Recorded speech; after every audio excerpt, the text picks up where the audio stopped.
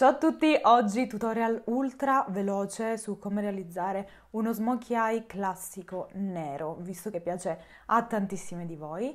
Io vi lascio al tutorial e ci vediamo dopo. La prima cosa che vado a fare è stendere su tutta la palpebra mobile una matita nera. Questa qui è le Crayon Call di Lancome. È una matita casual, però non la trovo poi così tanto morbida, quindi mi piace particolarmente perché eh, diciamo che non impasta troppo. Sicuramente quello che vi consiglio è di scurire il più possibile tra le ciglia superiori. Ricordatevi che negli smoky non devono esserci buchini bianchi. Infatti anche qua dentro poi dopo andremo a fare il riempimento. Con la matita rimanete proprio fino a dentro la piega, quindi qua dentro la pieghetta, ok? Senza andare oltre perché adesso prendiamo un pennello del genere o comunque un pennello abbastanza fitto, questo qui è il 223 di Zoeva. E andiamo a tirare leggermente i bordi Vedete cosa faccio io? Picchietto in questo modo e comincio ad allargare la mia sfumatura, però non esagero, perché dopo voglio che si veda bene anche il marrone, ma potete usare qualsiasi altro colore, non per forza il marrone, diciamo che è basico quello che sto facendo in questo momento, però potete usare il rosa, potete usare il blu, potete usare qualsiasi altro colore. Riprendo la matita e bordo la rima inferiore.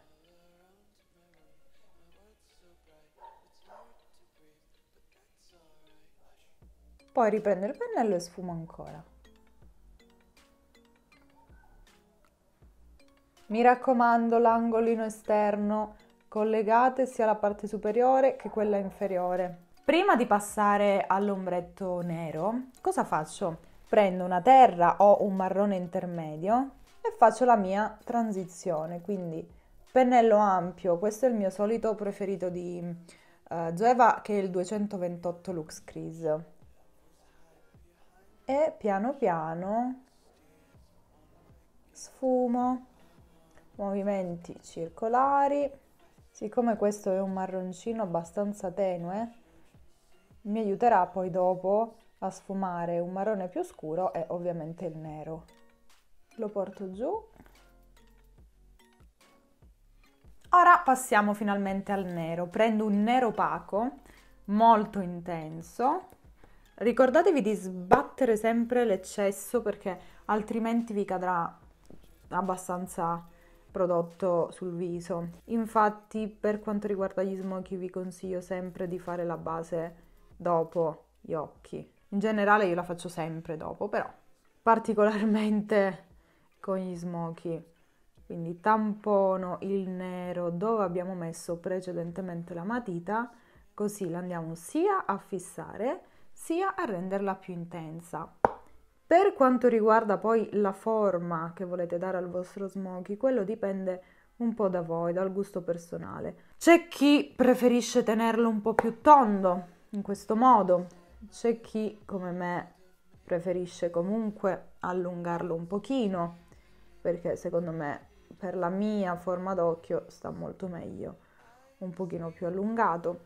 Dipende sempre dai vostri gusti potete giocare. Con un pennellino angolato piccolino porto lo stesso nero anche sulla rima inferiore.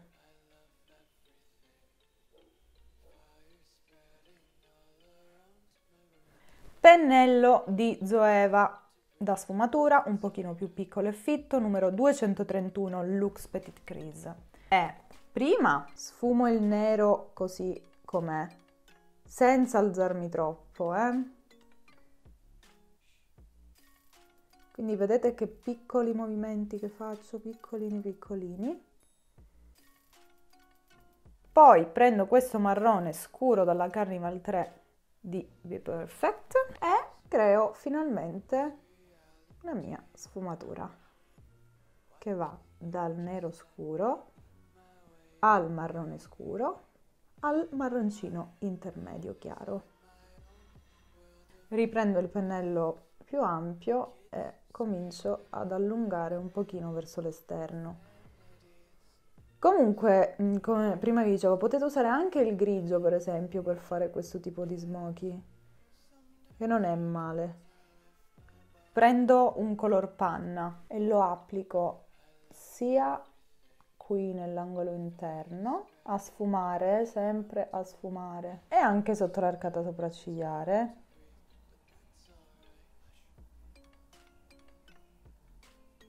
Matita dentro, dovunque, sopra, sotto e mi raccomando, a maggior ragione se siete molto molto molto chiare, biondissime, occhi chiarissimi, non lasciate buchini, spazi vuoti. Lo smoky deve essere smoky. Applico un filino di eyeliner, questo è il serial liner di Nabla.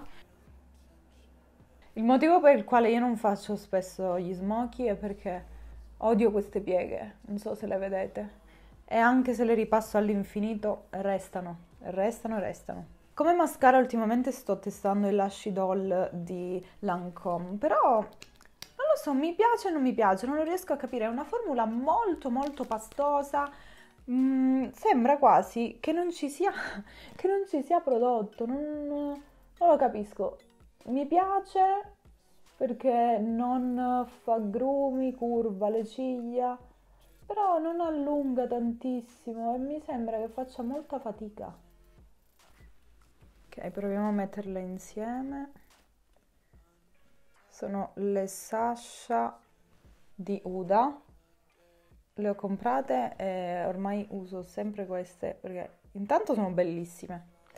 Poi perché vi dirò io non sono una tipa che acquista 20.000 paia di ciglia finte. No io ne acquisto una due.